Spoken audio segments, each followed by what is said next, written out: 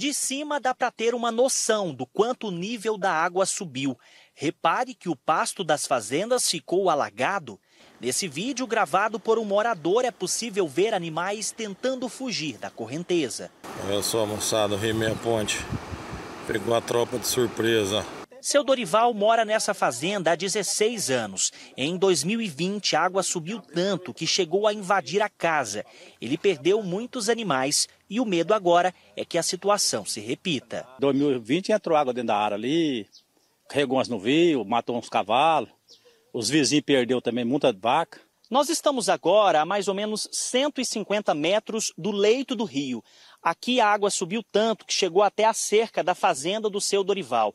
Para evitar perder animais, como em 2020, ele cercou os bois que participam do rodeio aqui nesse pasto. A preocupação é com o período da noite, quando a água sobe e ninguém vê. Esses bois eu cheguei de Trindade ontem aí para eles atolar ali na água ali, a água carregar eles, a passagem ali alta.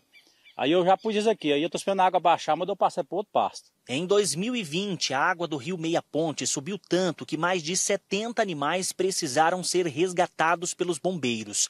Casas foram alagadas e muita gente teve prejuízos. Por causa disso, desde o início do período chuvoso, Corpo de Bombeiros e Defesa Civil Municipal fazem o trabalho preventivo.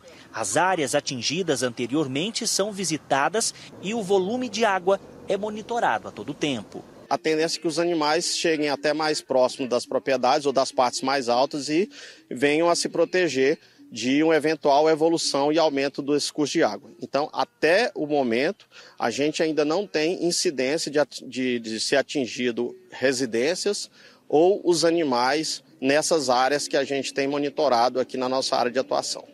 O Centro de Informações Meteorológicas e Hidrológicas de Goiás emitiu um alerta de risco potencial para chuvas intensas que podem chegar até 50 milímetros por dia. Nós tivemos aquela subida e agora ela está descendo gradativamente, mas vai se manter um pouco fora da caixa até que essas chuvas possam ficar é, nós temos em mais momentos de sol e essa água volta para a sua caixa normal do Rio Meia Ponte. Por isso, a população deve ficar atenta para não ser surpreendida. Caso a água chegue até as suas residências, até as suas propriedades, elas não resistam à saída, que muitas vezes a gente tem isso, e na, na ânsia de querer tirar animais, tirar é, móveis da sua residência, muitas vezes se colocar em risco. Então a gente alerta para isso. O mais importante são a vida dessas pessoas. Caso aconteça qualquer coisa, telefone 193, retirado do local, e a gente busca um apoio para essas pessoas, caso elas não tenham ficar, via a Prefeitura Municipal de Inhumas.